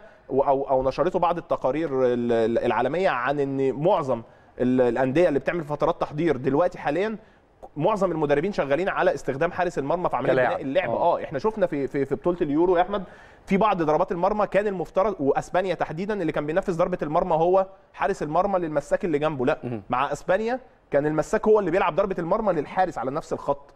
وده ده التطور الكبير اللي هيشهده. بقول لك بداية من حارس المرمى اللاعب رقم ستة مفهوم الباكات الباك اللي الدفاعي ده مش هيبقى ليه وجود في الكرة ال- ال- العالمية بعد كده زي ما تم الاستغناء عن مركز الليبرو. المركز رق- رقم 10 فهتلاقي الكرة رايحة تطوير كبير جدا على مستوى منظومة اللعب هتدفعك في النهاية إنك تشوف شكل زي الشكل اللي أنت شفته مع منتخب أسبانيا تحديدا في اليورو وشفت إزاي أسبانيا في فاينل يورو بتوصل للمرمى بثلاث نقلات بتحرز هدف في الدقيقة 87 تقريبا وبتنهي بيه ال- البطولة بثلاث لمسات فقط. هو ده ال- المفهوم الجديد أو طرق اللعب اللي رايحة لها كرة القدم ال- الفترة الجاية يعني. الثورة اللي بدأها بيب جوارديولا. حقيقي. هو بص هو هو هي في كلمة. مشهورة بتتقال إن جوارديولا ع- عدل في كرة القدم. هو ابتكر طريقة آه، يعني. هو عدل فيها فعلا. يعني كرة القدم قبل بيب جوارديولا آه، كانت حاجة وبعد بيب كان في جوارديولا حاجة على السوشيال ميديا مش عارف انت شفتوها ولا حاجة لأ. تانية. كان كانت لقطة هو بيحضر بيتفرج على ماتشات basket. وحتى كانوا مش عارف لو الصورة اللقطة دي موجودة معانا ولا لأ.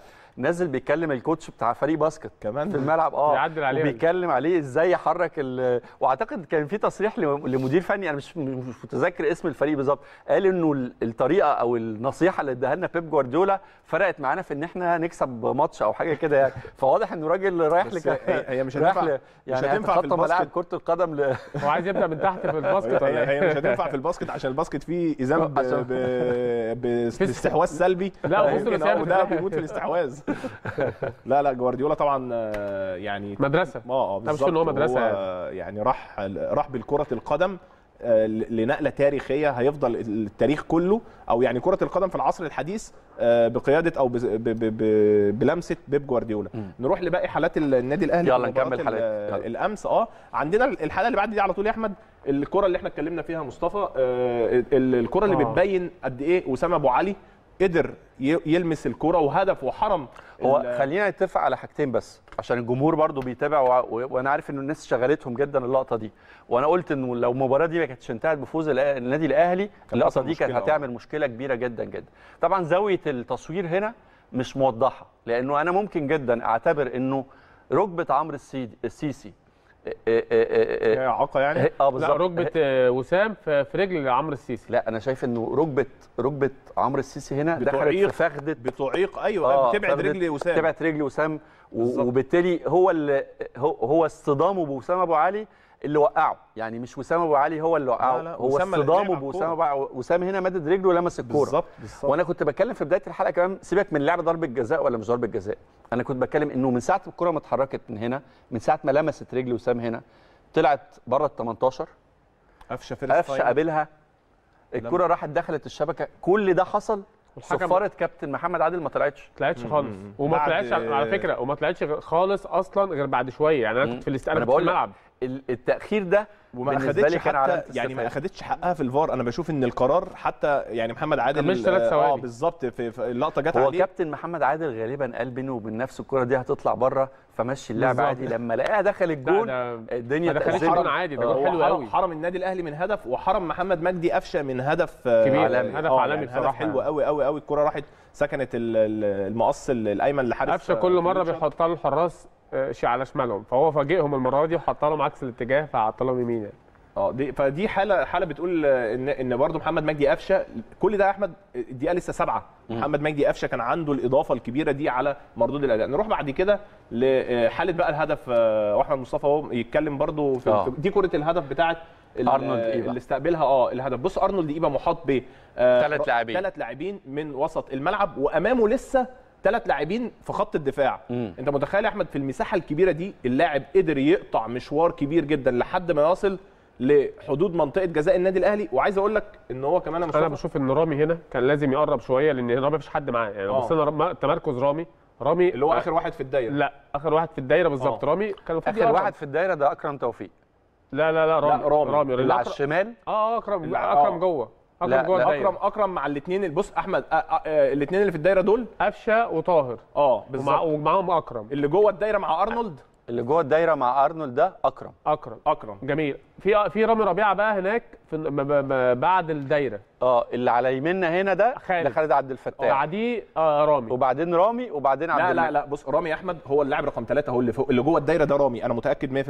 اللي جوه الدايرة قدام أرنولد ايبا ده رامي. اللي هناك ده اللي هناك ده محمد عبد يبقى عبد المنعم. المنعم هو اللي آه، كان آه. لازم يتواجد هنا بقى. تمركز رامي كان إحنا اللقطة دي مش ممكن تبقى معانا فيديو. آه ممكن لقطة تبقى الهدف. آه آه. ممكن نجهزها فيديو. تبقى أوضح أكتر. فالهدف أرنولد إيبا محاط بثلاث لاعبين في وسط الملعب ولسه قدامه ثلاث لاعبين. اللاعب وجد إن هو كل ما بيقطع مساحة بالكرة مفيش حد هو بيعترضه. ما كانش رايح فعلا آه، يجيب جول. حد لا لدرجة إن هو يا أحمد آه عايز لا أقول لك- طبعا هو استحالة يكون واخد هو- في اللقطة اللي كان بيعرضها بلال هو هنا مش واخد هو قرار. انه يجيب جول. هو هو شايف إن هو كل ما أيوة. بيزق الكوره مفيش حد بيقرب. بي... آه بيقرب. عارف اللي بيهرب؟ فلقى نفسه آه، خلاص مفيش غير المكان ده. أهي بص هنا. أحمد. أهي. وقف بقى هنا واقف هنا كده ثواني. آه. آه. ده أكرم لا ده. أكرم. يبقى آه، يبقى ده أكرم. هو خالد اللي جوه الدايرة ورامي هو اللي خالد اللي جا... اللي في ظهر اللعيب. آه آه آه. يبقى كده. وامام أعتقد اللي ضغط عليه هنا رامي ربيعة هو اللي ماسك ال- الجناح ال- رامي الشمال غطى مكان أهو رامي أهو. خالد. أهو رامي أهو. بص بقى رامي دلوقتي بيبدأ يطلع هو رامي. أهو ب... ب... قرار ممكن نوقف هنا. لا ممكن نرجع لا قرار رامي هنا. طبيعي جدا لأنه طبعاً. خلاص ده بقى بقى بره اللعبة كان لازم. الجناح ده ده عبد. ده عبد عبد عبد. المنعم أيوه هو أنا قصدي بقى على عبد المنعم آه عبد المنعم كان لازم من طبيعي جدا إن رامي هنا يسيب اللعيب خلاص لأنه ده رايح بص المساحة بينه وبين عبد المنعم لازم قد. إيه آه، آه. فلازم ممكن- يتحرك ممكن نرجع. شوية آه. كمان باللقطة قبل ما يدخل مثلا يعني يدخل أيوه نرجع شوية كمان آه. هنا عبد المنعم واقف لوحده جدا كان عبد المنعم لازم يقرب شوية على عشان ما رامي أو خالد وإمام هنا يعملوا. فاول تكتيك بالظبط. بالظبط يعني- يعني مثلا بس يعني- عبد المنعم لو كان رحل شوية أتحدى إن ايبا كان ممكن يخش في. نكمل بقى بعد كده هنلاقي أصلا ايبا راح على المكان الفاضي اللي هو بص هيكمل فيه اللي المنعم كان المفروض يقرب منه شوية. رامي بدأ يروح يتحرك على المكان الفاضي فعلا. لكن خلاص بدأ إيه؟ بدأ ايبا يطلع الناحية الثانية خلاص هو اتقفلت. عايز أقول لك على حاجة بص هنا أثناء التسديد هو بيشوط الكرة أصلا خلاص بقى يعني. عارف حاله تعب. هو هو الراجل جري كتير قوي. عدى من من أكتر من من لاعب وبص هنا بيشوط الكرة أي حاجة. أنا بقول لك هو بيشوطها أي حاجة. ولكن بص يعني هي أنا أعتقد من وجهة نظري إن الشناوي ما كانش متوقع إن هو إن ايبا إن هو. هيمر من كل ده ويوصل ايبا لحد عنده. آه يعني ده ده تخيلي لل- لل- للشوطه دي أو الهدف ده إن الشناوي ما توقعش إن الكرة ممكن تتشاط لأن ايبا ده برضو إحنا بنديله حقه لأرنولد إيبا إن هو لاعب مميز قدر قدر إن هو بمجهود فردي يحط فريقه في آه آه بس الأخطاء هو الدفاعية استغل هو استغل الأخطاء الدفاعية استغل الترحيل زي ما. زي ما احمد مصطفى قال لو لو كان كذا لعيب يعني اترحل كان كان هو ايبا نفسه بالظبط. كان هيلاقي آه. هيخش يلاقي block هو لا لا لا. أريحية كبيرة قوي في كل ما رامي لما أنت. قلت فعلا رامي لما دخل إيه اللي حصل؟ ايبا طلع طلع لبره أيوه يعني هو إيبا لما لقى رامي دخل فهو بعد لا وحتى رامي لو دخل مع احتمالية إنه إيبا يلعبها للجناح برضه ملحوقة كان خالد خارج عليه من نفسه لكن آه. لكن قرار رامي في التحرك في الوقت ده لكن آه، فكرة إنه إنه ترحيل إنه خالد عبد المنعم خالد. وإمام ما عطلوش ما عملوش الفاول التكتيكي ده دي نمرة واحد متوقعوش. تمركز أكرم مع إنه مع إنه مع إنه رامي مغطي على الجناح على بتاع بتاع بتاع الجناح الشمال بتاع مودرن فكان أكرم كان لازم يخش أو يضم القلب الملعب يقفل شوية أو يملى المساحة اللي بين ربيعة وبين عبد المنعم برضو ده سوء تمركز بعد كده لما الراجل طلع بالكورة أعتقد إنه كان في تهاون شوية أو بالظبط يعني. هو محدش فيهم كان متخيل هو متوقع بعد الجري ده هو كله الهدف ال- ده يعني مهم جدا ليه؟ للمباراة القادمة آه آه ما أنا بتكلم في اللي جاي طبعا ما ينفعش في أي يعني الكره دي من بدايتها خالص لو جبتها من بدايتها عمرك ما تتوقع إن الكره تدخل هدف. صحيح. سيناريو هي لغاية لما دخلت أنا ما صدقتش إنها هدف ما هو. دي الفكرة. فهو أنت بقى لازم تبقى دايما في المباريات القادمة. المهمه جدا إن أنت ما تستهونش وتفكر أي هجمة آه، عليك. تتوقع إن هي ممكن ما تدخلش هدف تتعامل مع عادية. تتعامل معاه صحيح. بجديه تتعامل بجدية كبيرة جدا لأن أنت ما ينفعش تفرط في أي آه، نقطة الفترة القادمة. هدفين الأهلي لو عقبال ما يجهزوا. نمرة واحد إمام بالراس. دي جديدة. وأعتقد إنه يمكن يكون يمكن إمام ما كانش طبعا إمام امبارح. خلينا نتفق إنه دي جملة. جملة أعتقد متفق عليها من مارسيل كولر. آه.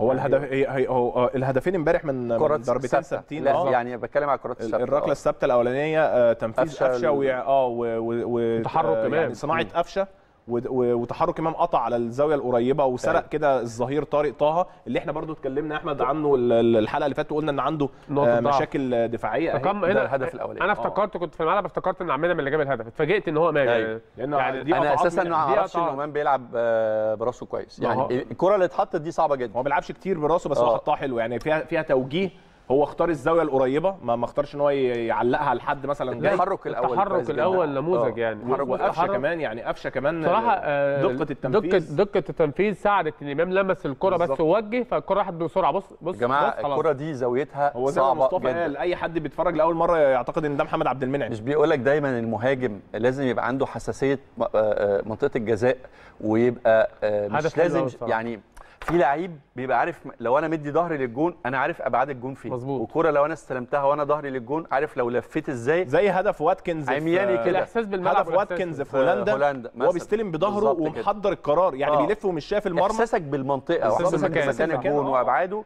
دي دي هيدر مهاجم بتوفر لا لا لا دي. هيدر مهاجم. من, من أحلى أنا بشوفه هدف ده زي. هدف آه، آه، ستيفن هالر في في نهائي ال- الكان لما نزل مع مع كوتيفوار آه. وقطع قبل ال- بس هالر كان صعب شوية بصراحة بس يعني دي برضو فيها صعوبة خلي بالك يا مصطفى يعني دي فيها صعوبة برضو لا صعبة صعبة بص بص فيها صعوبة إن هو التحرك صعبة. وال- الزاوية والقطع. وال place آه، آه. وال توقيت الهدف كمان. بصراحة شايف توقيت الهدف كان توقيت مثالي ده أهم حاجة في الشوط الأول أنت دخلت. الشوط الثاني بقى بص بقى في حالة ما أعرفش صورة معانا ال- ال- آه، أنا قاصد بيها ان إن أنت لما دخلت ده الهدف ده الهدف. الثاني آه بيرسي تاو هو طبعا يحسب لكولر دي بقول لك هي. جملة آه. تحرك مين لو جاب رجعنا محمد الهدف ده تاني محمد عبد المنعم قريبة كله كل مدافعي فيوتشر بما فيهم حارس المرمى راح على عبد راح على عبد المنعم تخيل إن إن بيرس ده واقف يعني ما بينه وبين الحارس تقريبا يعني. صغيرة- ياردة وبرغم كده هو الحارس تقريبا بص على عبد المنعم ممكن نجيبها تاني؟ بص بص الحارس بص بص التحرك يرجع كده. نرجع تاني. الحارس اتحرك فيه خطوة كده ياخدها.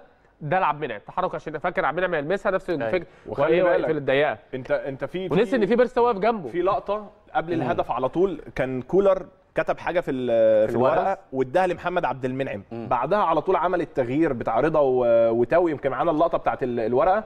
بعدها على طول وأنا أعتقد إن دي كانت حاجة متفق عليها ان إن محمد عبد المنعم يقطع زي ما هو بالسرعة دي كده على القريب علشان ياخد انظار ال- المدافعين. ويسجل بيرسا. وأنا سمعت مداخلة امبارح لكابتن طلعت يوسف قال فيها ان هو اكد على لعيبة فيوتشر مرارا وتكرارا. هي يا أحمد اللقطة. دي الورقة طبعا. دي الورقة اللي, اللي دي بقت. لقطة شهيرة في لقطة كل شهيرة كل مباراة. وبيكتبها بيديها لمحمد عبد المنعم. بعدها على طول آه تم التغيير بتاع تاو ورضا وجه من خلاله الهدف الثاني وده شغل ده, ده شغل عالمي.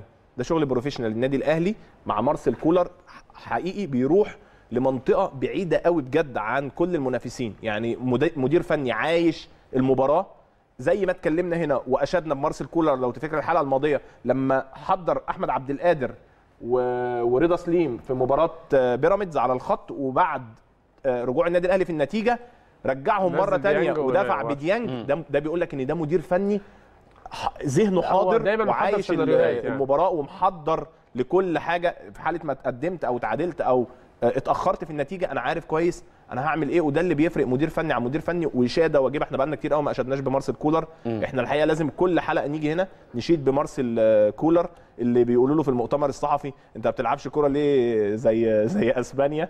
وأنا الحقيقة يعني مش عارف يعني الناس ما أعرفش تسأل السؤال ده إزاي؟ وأسبانيا في النهائي أصلا. يعني كان السؤال ده كان هو في النهائي يعني هو بيسال زي أسبانيا. طب ما أسبانيا في النهائي يعني لا يعني مارسيل كولر الحقيقة بيقدم آه، آه، يعني في الف... يعني لا على مدار مسيرته مع النادي الأهلي الكرات دايما الثابتة ديت فيها خدعة آه، كبيرة جدا. هو بيعملها وشغال عليها. لأن هو بيدي بالظبط. إحساس وفي تنوع دايماً يعني أنت. فاكر انت أنت جبت الحالات المرة اللي فاتت آه، عن أهمية استغلال اللاعب الثاني shadow striker.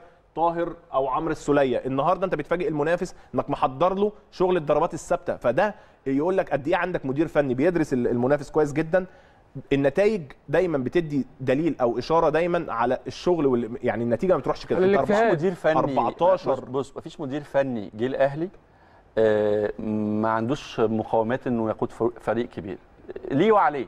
يعني انت النهارده لما تتكلم على على موسيماني هتلاقي ليه وعليه. لما تتكلم على أنا أنا أنا بالنسبة لي آه. أنا top fans عند مارسيل كولر. يعني أنا بالنسبة لي كولر لا في عليه لسه حاجات. لا، يعني- يعني آه. خد بالك انت رايح لمستوى level الوحش السنة الجاية وجماهير الأهلي دايما طماعة. يعني اتعودت إنها عايزة تكسب مكسب وعايزة تتمتع وعايزة تاخد اللقب. يعني عايزة كل حاجة. هت... هتكسب المباراة. ومش هتقدم لي كورة حلوة هقول أنا ناقصني في الحتة دي. هتدي فرصة للعيب وهلاقي لعيب تاني قاعد على الدكة هقول أنت ليه بس, ما بس بتلعبش؟ دي ده بس دي كرة القدم عامة في العالم كله. وده حتى ب... يعني مش أنا بكلمك على جوارديولا زي... أنت عارف أنا بحب لا، جوارديولا ده- حتى ده- جوارديولا بيتقال له حاجات كده. وبينتقد. وبينتقد. وبيبقى ليه غلطات أنشيلوتي وفي بينتقد. نهائي دوري أبطال و- أوروبا. ونهائي دوري أبطال أوروبا. يعني فاهم؟ آه آه، م- ماتش ريال في ال season اللي فات آه، آه، آه، تم انتقاده إزاي تلعب الكوره دي كلها ومش قادر. والتغيير اللي عمل في كل الآخر. كل المديرين الفنيين في العالم بيبقى ليهم وعليهم لكن خلينا أنا أنا بتكلم إحنا- perfect يعني إن إحنا آه ولكن إحنا إحنا سبورت لمارسيل أيوة. كولر في مواجهة بقى المح... يعني أحد المحللين برضو في, أيوة. في, إحدى القنوات كان مراهن على تغيير اسمه وكان عامل قصة كده وفيلم كبير في موضوع النادي الأهلي وإن لما النادي الأهلي هيروح للمباريات الكبيرة أيوة. زي بيراميدز وزي مودر هيبان المستوى الحقيقي لا وليه طب ما أنا أقول لك لا أنا. شفت له امبارح تصريح قال لك بقى إيه إن النادي الأهلي آه، هو اللي كذا كذا وإن الأندية دي كلها ما خلاص أنا تقريبا كده ما بيعترفش بوجود الأندية الأخرى فالنادي الأهلي أكبر حتى اللي كان مراهن على وقوعه أو سقوطه أو تعثره في مشوار الدوري إنه ينقل أو يشيل الموضوع. لناس تانية خالص. بانتصاراته بتفوقه بأرقامه بكل حاجة أنت كنت مراهن على حاجة والحاجة دي خذلتك وما حصلتكش أو ما حصلتش اللي هي إن الأندية دي تكون سبب إن أنت الأهلي بي... بي... بيفوز على أندية معينة لكن لما هيروح للمستوى العالي من المباريات أيوة. النادي الأهلي. وهو راهن على كده وامبارح طلع يهاجم الأندية دي الأندية الأخرى بقى يعني أنت بتشيل الأندية الأخرى لأن النادي الأهلي أجبرك على كده إنك تقف انتباه واحترام أمام ما يقدمه النادي الأهلي في موسم أو سنة كبيسة مليئة بالمباريات وبالمناسبة صحيح. آه قبل ما قبل ما ندخل على الهوا ريال مدريد كان طالع تقرير إن ريال مدريد بتنتظره أو بينتظر الموسم القادم 72 مباراة رسمية من المتوقع إن يلعبها الفريق فلا خلاص إحنا رايحين آه، ل... ل... ل... يعني package مباريات على مستوى آه، العالم. كله ومعلش يعني quality ريال مدريد البدني والفني والذهني يختلف عن أي quality بالظبط، مش. تقليل من لعيبة النادي الأهلي طبعا ما بالك بقى أنت هنا في مصر وأفريقيا آه، والسفريات وال... ريال مدريد بيسافر. يلعب بيسافر من مدريد لباريس في قد إيه ظروف السفر عاملة إزاي بيقعد في بيلعب في ملعب عامل إزاي آه، آه، ظروف ال- ال- السفر والإقامة إزاي تعالى بقى هنا خش في افريقيا يا باشا. إحنا ال 72 مباراة دول تعالى بنلعبهم بنلعبهم باشا. في شهر واحد. آه يعني شوف بقى آه، عشان تروح تلعب في المغرب ولا تروح تلعب في جنوب افريقيا ولا تروح تلعب في تنزانيا مدة السفر قد إيه ظروف السفر قد إيه الأجواء اللي أنت بتلعب فيها قد إيه. أوروبا الملاعب حضرتك مكيفة. أنت بتروح هنا تلعب في ملاعب لو وقفت فيها نص ساعة دماغك آه، تسيح. أيوة، فبالتالي لا يعني مفيش مجال للمقارنة. لما تكلمني على موسم بالشكل ده.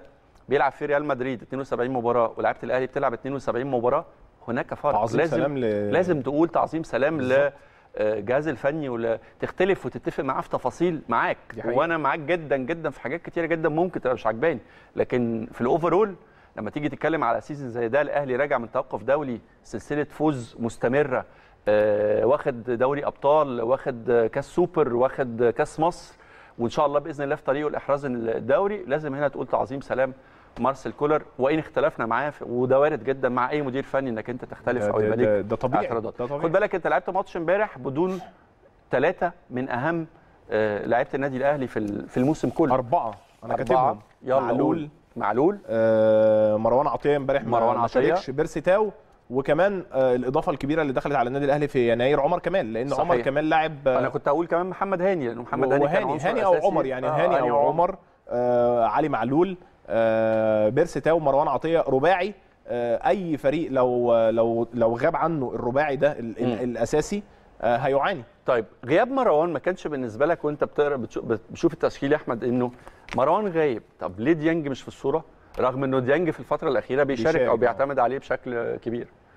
أعتقد إن مارسيل كولر يعني هو آه، آه، بيذاكر المنافس كويس جدا وده اتكلمنا فيه قبل كده إن هو دايما بيختار العناصر بناء على أنا المنافس. على فكرة مع تركيبة آه، قفشة وإمام أنا وأنت متفقين فيها آه، من بدري دي يعني خالص مع التركيبة جدا. بس كان بالنسبة لي فكرة إنه مروان مش موجود آه، أكرم ممكن يبقى عايز يشم نفسه شوية ويرتاح. فليه ديانج ما بيشاركش كأساسي. لأن آه، هو بالنسبة له آه، أكرم بيقدم أداء كبير جدا وبشوف إن حتى لو لو لو ديانج لعب ممكن يبقى الثنائية الثانية تختلف ما هي. دي برضه بتبقى. آه يعني لو لو, لو لعب مش على حساب أكرم لو لعب على حساب إمام إمام أو قفشه بالظبط. أو على حساب قفشة دايما هو. بيعتمد عليه الفترة الأخيرة إن هو بيعتمد على دايما على ديانج في, في مركز 8 أيوه وامبارح إحنا شفنا إن هو كان بيلعب بطريقة لعبة مختلفة وهنا ما حدش كان يتوقع خالص ممكن أنت قبل الماتش خالص تتوقع إن ممكن يبقى آه، لو لو هتحط لاعب 10 طبيعي هتحط مين قفشه ولا إمام؟ أيوه هتحط قفشه لكن هو مارسيل كولر بيحاول دايما يناور ال- ال- ال- الخصم وبي- وبيبتكر بعض الأفكار في المباراة. وبيعمل حاجات مهمة جدا. مش الورقة اللي بيعملها كل مباراه وبيديها لعبد المنعم اللي بقت مميزة جدا. لا هو أثناء الجيم بيتحول النادي الأهلي لأكتر من طريقة لعب في المباراة. ودي حاجة مهمة جدا جدا جدا. بنشوف إن مارسيل كولر بيحاول يعملها في المباريات الأخيرة لأن أنت عندك ضغط مباريات كبير جدا جدا. أنا متفق معاك في الجزئية دي ومتفق أو الناس كلها متفقة إن واحدة من أنجح مميزات مارسيل كولر كهيد كوتش إنه آه، خلى الف- ال- الف- القوام ال team كله كله أساسي. ال squad كله أساسي. أي حد فيه بيحتاجه جاهز. يدي لك اللي أنت عايزه. وبيقدم الدور اللي هو عايزه. لكن السؤال بقى عايز أسمع رأيكم أنتوا الاثنين فيه. مين أكتر لعيبة حسيتوا إنها اتطورت مع مارسيل كولر؟ يعني في مدير فني بيجي آه، تلاقي لعيب معاه عالي جدا وممكن لعيب معاه طفى جدا.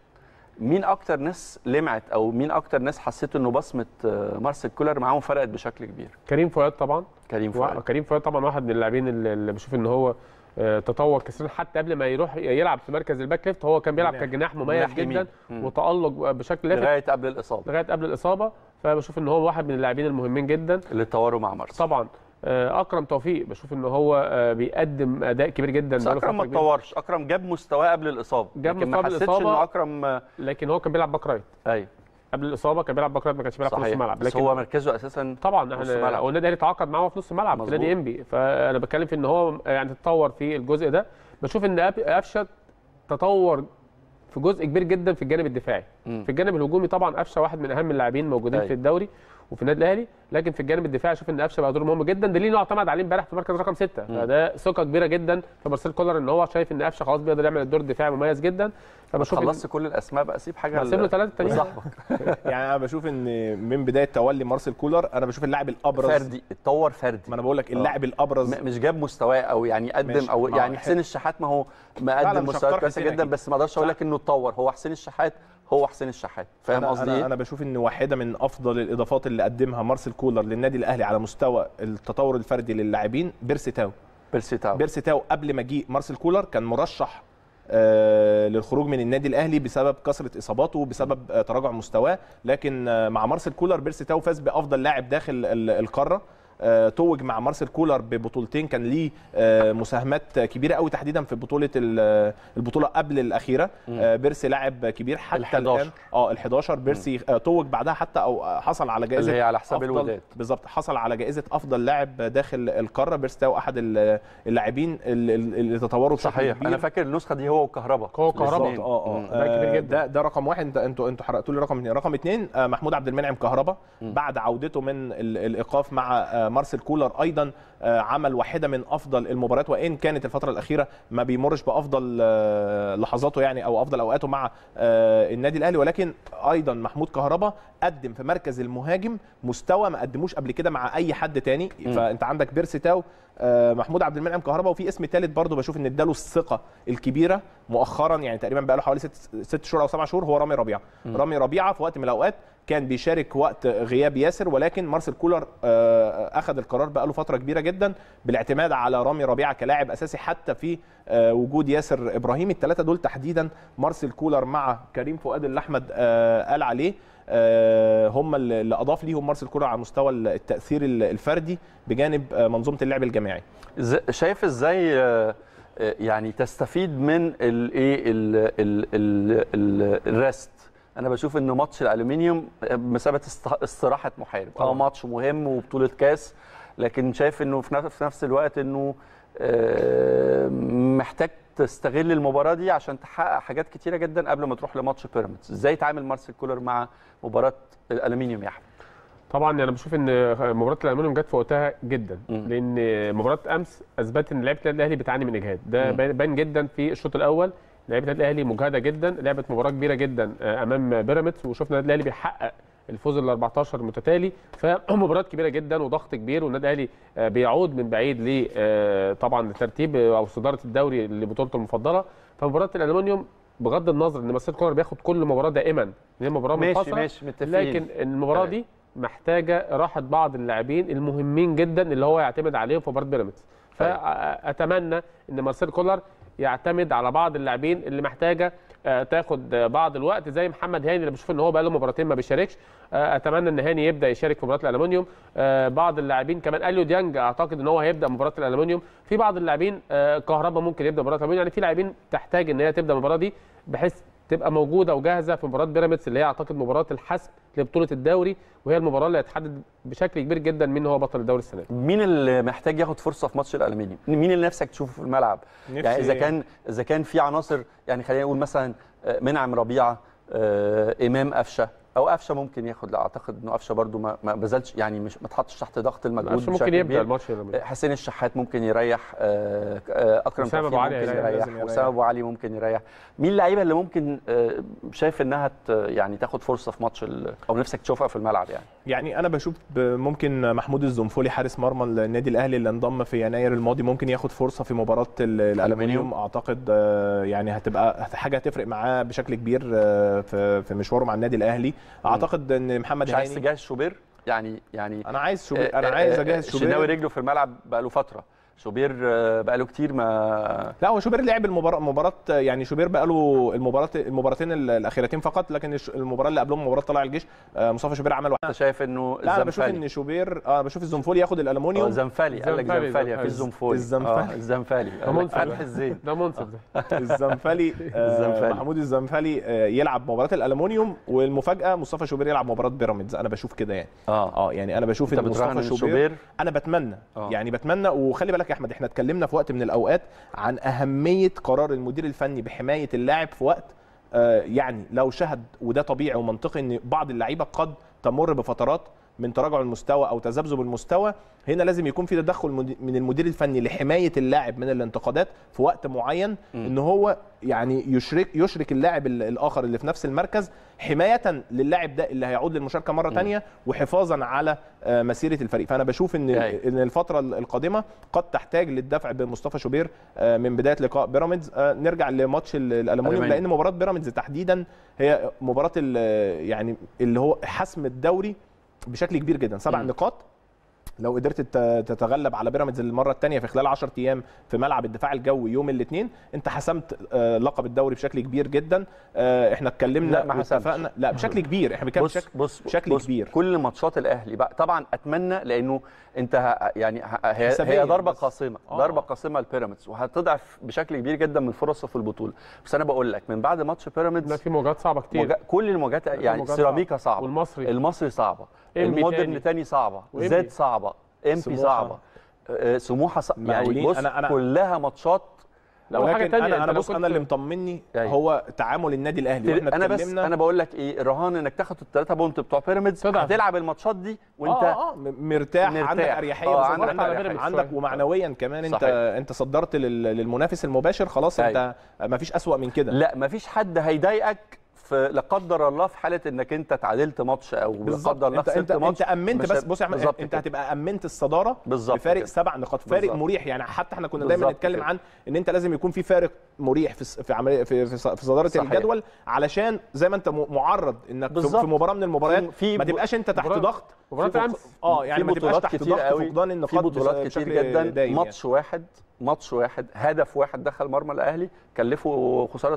انت فاكر. آه، تتويج السيتي تتويج السيتي و- في, في, أحد ال- ال- السنوات يعني من من أربع أو خمس سنين تقريبا السيتي لما توج بهدف أجويرو أجويرو فرق هدف واحد آه, آه، آه. بالظبط فلا ال ال الكلام ده كله طبعا بيبقى ليه دور كبير جدا فأنا أعتقد إن الزنفلي بقى عشان نرجع لمباراه. الألماني الزنفلي محمد هاني آه، محمود متولي آه، ممكن نشوف آه، مروان عطيه عشان ما شاركش ومحمد مجدي قفشه ياخدوا 60 دقيقة من اللقاء. أعتقد إن محمود عبد المنعم كهربا فرصة مناسبة جدا لتجهيز كهربا قبل لقاء آه، بيراميدز. ممكن أحمد عبد القادر للأسف واجهه سوء حظ في الإصابة فممكن طبعا. تدي لمحمد الضو كريستو ورضا سليم. يعني أعتقد إن في لعيبة كانت آه، بعيدة آه، عن. المشاركة. آه وخلي بالك مارسيل كولر عنده حاجة. خالد عبد الفتاح لحد من شهر واحد فقط كان اللاعب رقم أربعة في مركزه. مم. يعني كان بيسبقه في الترتيب محمد هاني عمر كمال عبد الواحد. أكرم توفيق. أكرم توفيق. تحول وكريم فؤاد كمان. وكريم فؤاد ممكن تحول من اللاعب رقم أربعة أو رقم خمسة صحيح. للاعب رقم واحد. على كل الاحوال نتمنى التوفيق. هي فرصة للجميع. فرصة لراحة أسماء آه، بذلت مجهود كبير جدا. فرصة للعيبه إنها تاخد أو تحط رجلها في الملعب على الأقل. تاخد فرصة كاملة قدام الجمهور. فرصة لمارسيل كولر للتحضير لمباراة بيراميدز بشكل جيد. أعتقد إن توقيت مباراة الكاس أعتقد يخدم الأهلي بشكل كبير جدا مع ضرورة طبعا التقدير والاحترام لأي منافس. الأهلي أعتقد إنه بيحترم أي منافس بصرف النظر عن اسمه عن ترتيبه عن إمكانياته. بالتأكيد طبعا مباراة مهمة وماتشات الكؤوس دايما قابلة لكل الاحتمالات لكن إن شاء الله رهنا كبيرة على فريقنا إن شاء الله يوم الجمعة. ومن بعدها نفتح ملف بيراميدز. بشكر أحمد مصطفى بشكر بلال محسن على وجودهم معنا. شكرا. شرفتونا ونورتونا ونكمل خناقتنا بقى بعد الهوا. وبشكر حضراتكم على المتابعة. كل التحية.